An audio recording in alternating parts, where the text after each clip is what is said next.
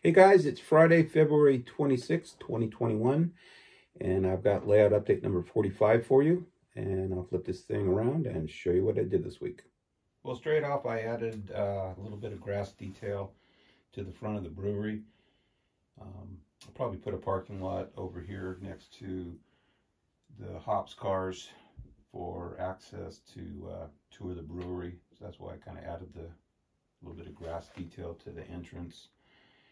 And over on the roundhouse side of it, uh, I finished the um, little area for the yard tower. Uh, I didn't do much with that uh, tower that I had, uh, other than a little detail painting, and it, it looks pretty good there. Um, the biggest thing is I got the, uh, the roundhouse area pretty much done. Um, I used uh, two two kits.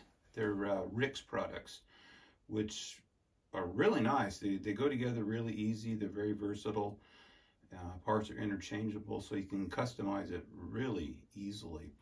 My only objection to it is that the plastic is a little bit thick, so when you're trying to cut the, the holes for the windows and doors, uh, it's not as easy as I'd like, but uh, you can get it done. But no, they're, they're really you know, well thought out. And I, I really enjoyed putting them together. And, and they're pretty, um, you know, pretty reasonably priced. Uh, I had a little bit extra to, uh, um, sorry about the shadow, for the for a uh, storage shed in the back.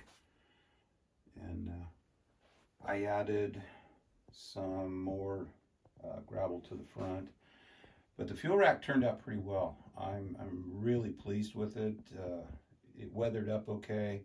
I had a few issues with uh, the plaster being thin down by the, the center of the fuel rack. It, it uh, actually went through the the wood base that I had on it. So it's been a bit of a challenge uh, to complete that.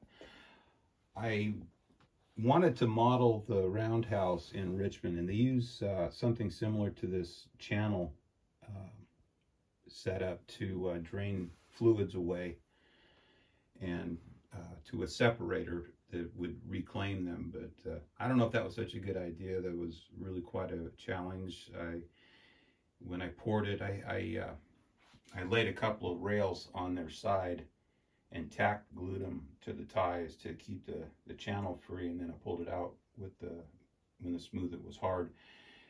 Um, it's it looks a little rough in the video. It looks a little better in person, uh, but for the most part, I, am pretty happy with it. I was not happy with the Stewart Products uh, Sand Tower.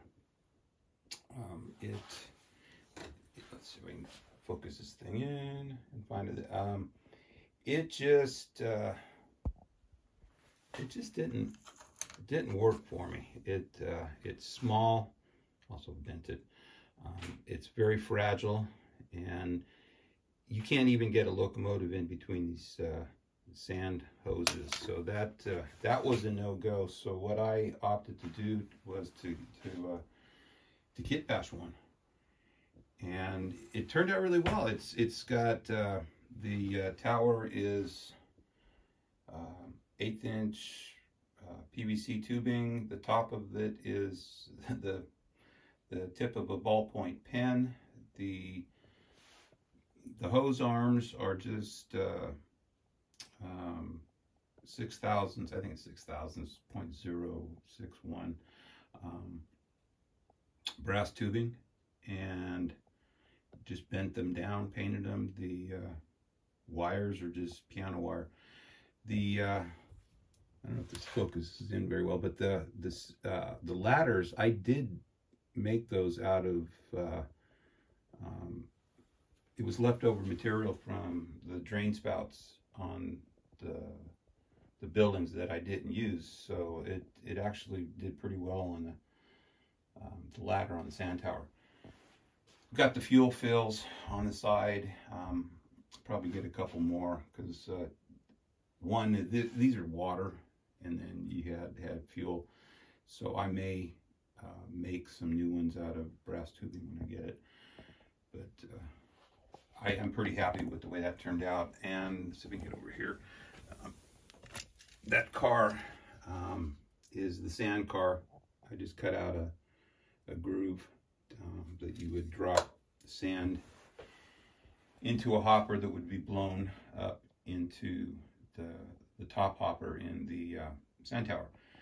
So I want to add some uh, copper tubing um, details between the uh, separator uh, recovery tank and uh, the um, fuel nozzles. I'll got I got a few ideas, but uh, that'll probably come. But yeah, the roundhouse turned out pretty well. I'm pretty pleased with it.